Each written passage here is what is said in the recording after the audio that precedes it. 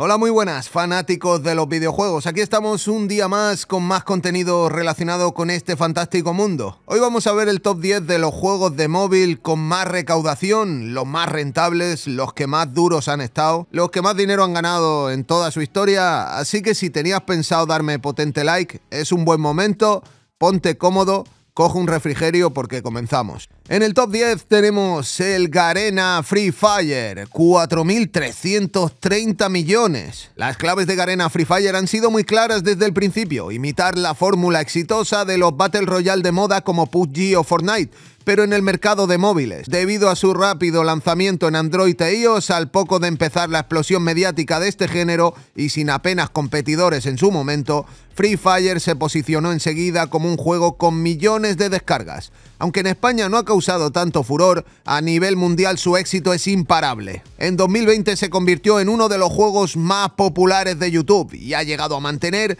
más de 80 millones de usuarios activos al día. Bueno, que vamos a hablar del Free Fire. Es lo que hay. Es el juego más popular en cuanto a shooter en el tema del móvil. O sea, y eso es inalcanzable. O quizás no. Vamos a ver el top 9. En el top 9 tenemos Fantasy Westland Journey, 4.700 millones. Y este es un juego de la empresa NetEase. Aunque aquí puede que no nos suene tanto el nombre de Fantasy Westland Journey, estamos hablando en realidad del juego online más popular de China desde el año 2007. Su versión para PC fue uno de los juegos en línea de mayor crecimiento en el país en aquella época. Por ello no es de extrañar que en 2015 nos llegase una versión adaptada a móviles por NetEase, igual de exitosa de esta obra que se inspira en la popular novela china Journey to the West. La versión para iOS y Android recaudó más de 800 millones en China solo en 2016 y en la actualidad sigue generando ingresos en todo el mundo. No lo conocía, la verdad es que no lo conocía, pero para eso estamos aquí, para aprender, ¿no? Vamos con el 8. En el puesto número 8 está el Fate Grand Order, 6.300 millones, eh, de la empresa Aniplex. Fate Grand Order es un juego de móvil japonés basado en la franquicia Fate Stay Night de Time Moon, con un sistema gacha que ha arrasado en el mercado. Su sistema de combates por turnos y su narrativa presentada como una novela visual han hecho que millones de jugadores alrededor de todo el planeta se hayan enganchado a esta obra adaptada por Aniplex, que durante el año nuevo de 2020 fue temporalmente el juego de móvil con mayor recaudación de la historia, aunque con el paso de los últimos años ha sido superado. Sus cifras alcanzadas siguen siendo impresionantes. Otro que no conocía. Está muy bien, ¿no? Oye, esto de venir aquí y aprender está muy bien. Vamos con el 7. En el número 7 tenemos el Candy Crush Saga, 7.456 millones, de la empresa King, Activision Blizzard. Candy Crush Saga es probablemente uno de los juegos móviles más populares y conocidos del mundo gracias a su simpleza y accesibilidad.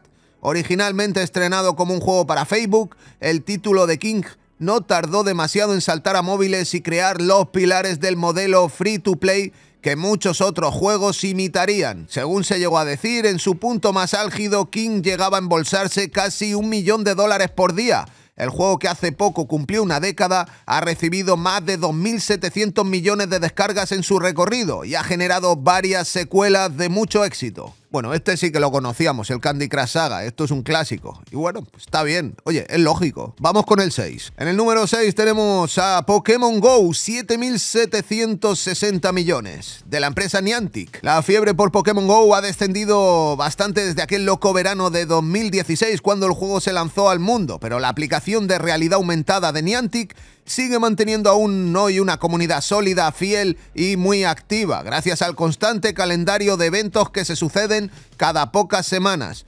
En su día el juego fue, como decíamos, un bombazo. Pasear por cualquier parque suponía ver prácticamente a toda persona joven jugando a este juego en su móvil. Si ya de por sí la serie de Pokémon de Nintendo y Game Freak mueve montañas, trasladar sus mecánicas de forma simplificada a móviles y su inmenso catálogo de criaturas coleccionables al mundo real fue un acierto que ha demostrado sus frutos. Para hacerse una idea, solo hay que reparar en que el juego ingresa una media aproximada de mil millones de dólares al año, desde su estreno. Bueno, Pokémon Go, eso sí que fue un buen éxito, bien, bien, bien, bien, bien gordo, ¿eh? Vamos con el número 5. En el número 5 tenemos el Clash of Clans, 8.000 millones de la empresa Supercell. En 2012 los finlandeses Supercell publicaron dos juegos que los llevarían al estrellato. Por un lado, High Day y por otro el reconocidísimo Clash of Clans. El juego online de estrategia y temática fantástica fue uno de los primeros en abrirse camino en la nueva era de los juegos free to play para móviles.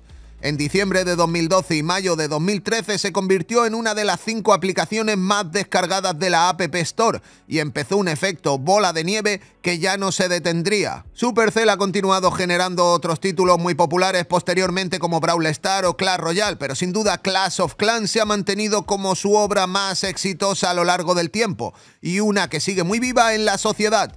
Como curiosidad, en 2015 el actor Liam Neeson protagonizó un anuncio del juego en la Super Bowl, que más tarde el portal VentureBeat confirmaría como el más visto del evento. Bueno, Clash of Clans, ¿qué vamos a hablar de él? Es algo que todo el mundo conoce y que tuvo un éxito rotundo y que lo sigue teniendo. Vamos con el número 4. En el número 4 tenemos Puzzle and Dragons, 8.578 millones, de la empresa Kunho Online Entertainment. De alguna forma, los puzzles y la estrategia siempre han ido muy de la mano en el mercado de juegos de móvil y parece que somos muy asiduos a disfrutar de estas experiencias en nuestros smartphones más que en ninguna otra plataforma. Si no, no tendría sentido encontrar a un juego como Puzzle and Dragons como uno de los que más ingresos han generado en la historia de los free-to-play móviles. Este juego que comenzó su andaduría en Japón con enorme éxito comercial fue después lanzado en muchos otros países hasta convertirse en el primer juego de móvil de la historia en recaudar más de mil millones de dólares. Durante un tiempo hasta 2018 también fue el juego de móvil con más recaudación de la historia. Su popularidad le ha llevado a parir una franquicia con más juegos asociados y también una serie de anime. Bueno, este no me lo conocía, el Pull and Dragon. La verdad es que hay algunos que, oye, que están por ahí perdidos de la mano de Dios, pero no me lo conocía. Vamos con el número 3. En el número 3 tenemos PUBG Mobile con 9.000 millones de la empresa Tencent Games. El lanzamiento de la versión de PUBG Battlegrounds no se hizo demasiado de rogar. Tras su meteórico ascenso en los ordenadores de todo el mundo, el Battle Royale fue trasladado a smartphones en colaboración con Tencent, Krafton y VNG Games en 2018 con este PUBG Mobile. El resultado, otro bombazo de esos que rompen todos los pronósticos. De hecho, durante su primer año fue el segundo juego de móvil más descargado en todo el mundo, con casi 300 millones de descargas. ¿Esto te parece poco? Pues agárrate porque que PUBG Mobile también fue en 2020 el juego con mayor recaudación del año, ostentando ni más ni menos que 2.600 millones de dólares. Por cierto, desde diciembre de 2022 es el segundo juego móvil con más jugadores activos del planeta, alrededor de 1.270 millones de usuarios registrados. Bueno, el PUBG, el PUBG eso está a otro level, eso pues bueno, trajo esta moda de los Battle Royale y se ha mantenido por supuesto en su versión mobile se ha mantenido bien, bien firme. Vamos con el top 2. En el puesto número 2 tenemos a Monster Strike, 10 mil millones de la empresa Mixi. Monster Strike es un juego móvil de rol y estrategia creado por el ex diseñador de Capcom Yoshiki Okamoto, quien ayudó a crear obras maestras como Street Fighter 2, que a menudo ha sido comparado como un híbrido entre Pokémon y Metal Walker. Desde 2013 en adelante este juego ha funcionado tan bien que ha generado una versión para Nintendo 3DS, una serie de anime e incluso varias adaptaciones cinematográficas también en clave de anime. Por supuesto, en términos de rendimiento monetario, Monster Strike tiene un historial de auténtica barbaridad. En 2016 logró ser el juego de móvil con más ingresos de ese año, por encima de Pokémon Go y Clash Royale. Y en 2018 le quitó el puesto a Puzzle and Dragons como el juego móvil con mayor recaudación de la historia, aunque ahora ha sido superado su legado es inmenso y solo digno de unos pocos. Otro que no conocía, el Monster Strike este. Bueno, hoy en este top 10 de los juegos más rentables del móvil vamos a romper realmente pensamientos que quizás teníamos en otros caminos. Y bueno, ahora ya si os parece vamos con el top 1, el juego más rentable, el que más dinero ha ganado, el que más se ha forrado de toda la historia de los juegos de móvil. Vamos allá.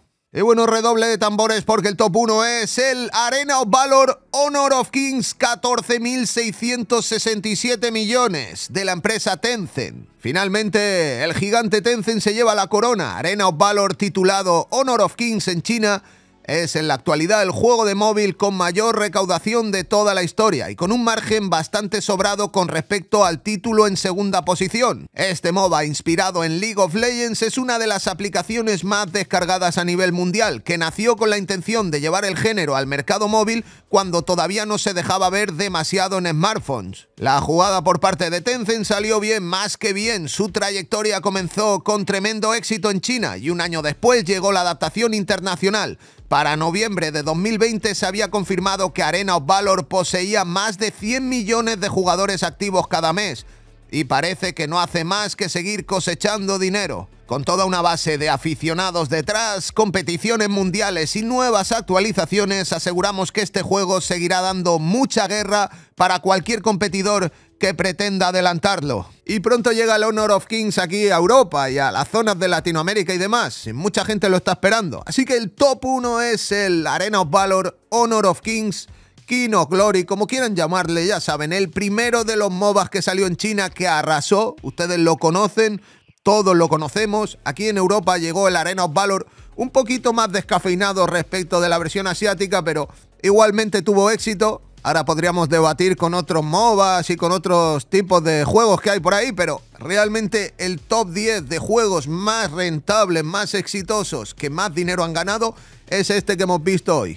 Me dicen por los comentarios lo que opinan, potente like si les ha gustado el vídeo, este top 10 de los juegos más rentables del móvil. Nos vemos en el próximo. Vamos que nos vamos.